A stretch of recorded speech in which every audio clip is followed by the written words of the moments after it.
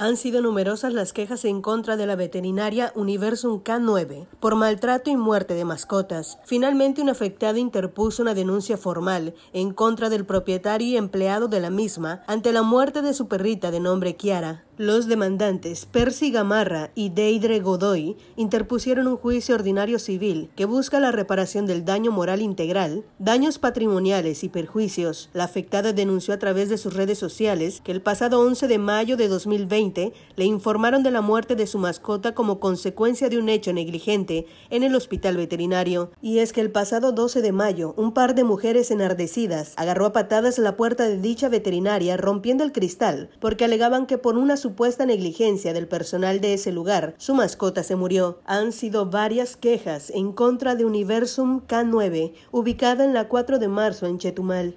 Para Notivisión, Rosy Dorado.